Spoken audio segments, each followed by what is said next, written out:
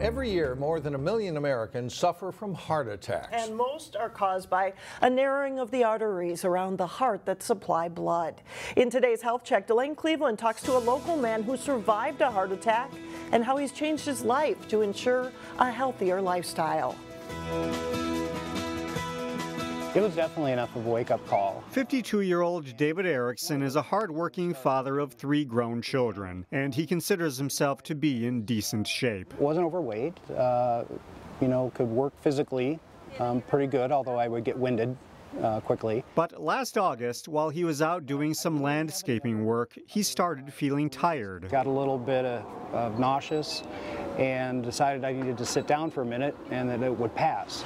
Instead, the pain got worse, so he asked his son to drive him to the nearest emergency room. He ended up in an exam room at West Health in Plymouth. He looked like he had just showered with his clothes on. Dr. Nick Johnson is the medical director at West Health who treated David when he arrived. I just sat down next to his bedside and I said, I just want to let you know you're having a heart attack. And I remember uh, kind of laughing a little bit because it was pretty obvious. However, the fact that he didn't take an ambulance to get treatment was no laughing matter. Specifically, if you start driving yourself and, you know, I mean, a heart attack can cause you to pass out, uh, you know, I mean, you might not make it in. Dr. Johnson says the difference between life and death can be a matter of minutes. If you're feeling chest pain, the best advice always is to call 911 so a medical professional can see you right away. As for David, you know, a heart attack is really sneaky. After having lived through the ordeal, he has some words of advice. Well, the first thing is just just go in and have your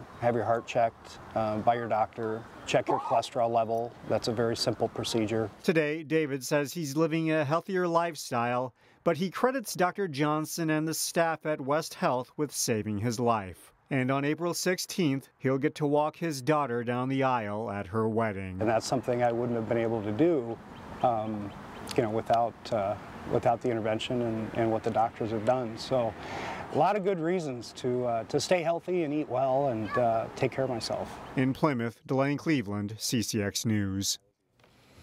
Doctors recommend the best way to prevent a heart attack are to get regular checkups with a primary care physician and to know your cholesterol level and blood pressure.